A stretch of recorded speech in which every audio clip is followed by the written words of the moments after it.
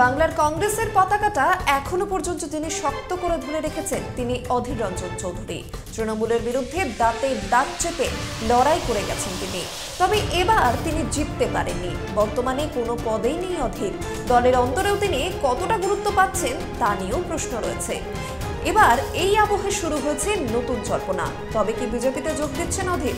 রাজ্য বিজেপির মুখপাত্র শ্রমিক ভট্টাচার্যের মতে, কংগ্রেস অধীরের সঙ্গে প্রতারণা করেছে। অধীর সঠিক খেলোয়াড় কিন্তু ভুল দলে রয়েছেন।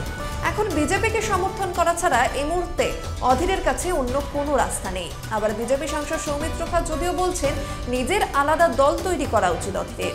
এরই মধ্যে অধীর রঞ্জনকে বিশেষ প্রস্তাব দিলেন সম্প্রতি কংগ্রেস ছেড়ে বিজেপিতে যাওয়া কৌস্তব বাগচি।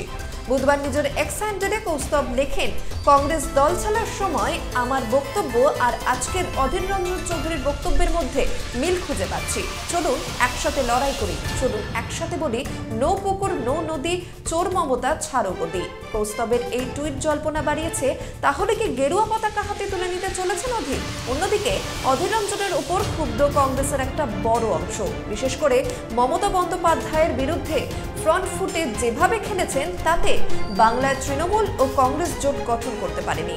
এ কারণে অধীর রঞ্জন চৌধুরী বলছেন, একটি টিভি সাক্ষাৎকারে মল্লিকার্জুন খাড়গে বলেছিলেন, যদি আমাকে বাইরে রাখার প্রয়োজন হয়, তাহলে তিনি তা রাখবেন।